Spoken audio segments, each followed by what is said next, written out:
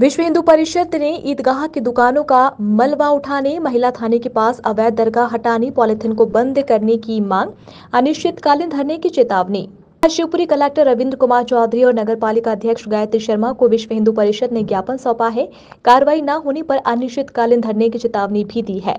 विश्व हिंदू परिषद बजरंग दल ने आज नगर पालिका अध्यक्ष गायत्री शर्मा और कलेक्टर रविंद्र कुमार चौधरी को ज्ञापन देते हुए बताया कि भूमि नंबर 724 और 726 स्थित ईदगाह, जहाँ से शिवपुरी रोड पर ईदगाह कमेटी द्वारा अवैध रूप से कब्जा कर दुकान और बाउंड्री वॉल का निर्माण किया जा रहा था, जिसके शिकायत करने पर नगर पालिका प्रशासन ने उन्हें तोड़वा दिया था।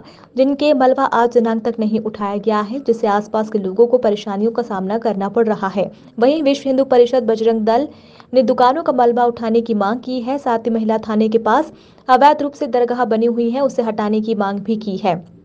बता दें कि अंबेडकर कॉलोनी स्टेडियम के पास जवाहर कॉलोनी, लुधावाली, कटरा मोहल्ला क्षेत्र में दिन में और रात्रि तक निर्धारित डेसिमल से ध्वनि लाउड स्पीकर बजाकर ध्वनि प्रदूषण किया जा रहा है, जिससे छात्राओं व बुज़ुर्गों को परेशानियों का सामना करना पड़ रहा है। शिवपुरी में पॉलिथीन का प्रयोग बंद करने की मांग है, जिससे आवारा जानवर खाकर बीमार ना पड़े। इन सभी मांगों को पूरा नहीं होने पर अनिश्चितकालीन धरने की बात भी विश्व हिंदू परिषद के द्वारा की गई है। आरएसएस ने आज ज्ञापन दिया है नगर पालिका सीएमओ को। क्या कुछ मांगों को लेकर ज्ञापन दिया?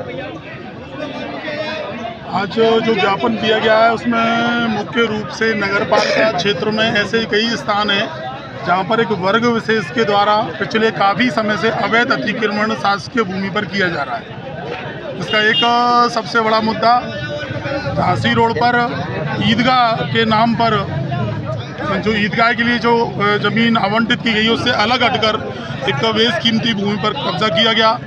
इसको पिछले समय में निरंतर प्रयास के बाद नगर पालिका प्रशासन द्वारा तोड़ा भी गया, लेकिन आज भी उसका मलबा वहाँ पड़ा हुआ है और आधा अतिक्रमण वहाँ भी यथावत है। ऐसा ही एक अतिक्रमण और महिला थाना, पुलिस थाना के पास में भी हुआ है।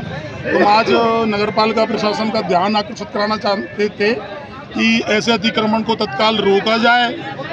जहाँ पर कार्रवाई की गई है, वहाँ से मलबे तत्काल हटाए जाएँ और उस भूमि को मुक्त कराया जाए। उस भूमि का सभी वर्ग के लोग सामान्य उपयोग करें। किसी भी व्यवस्था में उसको लगाया जाए, ऐसी हमारी नगर पालिका से मांग थी। साथ ही हमने एक और ज्ञापन दिया कि शिवपुरी शहर में पॉलीथीन का उपयोग बहुत हो रहा है। और उस पॉलीथीन के उपयोग से हमारी गौ माता है उसको खा लेती हैं और वो मर जाती हैं। तो हमने प्रशासन से नगर पालिका प्रशासन से आग्रह किया है कि पॉलीथिन के उपयोग को भी बंद कराया जाए। अच्छा सीएमओ साहब ने क्या आश्वासन दिया? सीएमओ साहब ने आश्वासन दिया है कि तत्काल वो माननीय जिलाधीश महोदय और कलेक्टर साहब से बैठक कर इस मामले को सॉर्ट आउट करेंगे और पॉलिथन वाले मामले पर भी तत्काल कार्रवाई अच्छा, करेंगे। आपकी जो मांगे हैं वो पूरी नहीं होती है तो इस विषय में फिर आर एस एस क्या आंदोलन विश्व हिंदू परिषद ने ये तय किया है कि अगर ये मांगे पूरी नहीं होती हैं तो हम पंद्रह दिन बाद अनिश्चितकालीन धरना देंगे।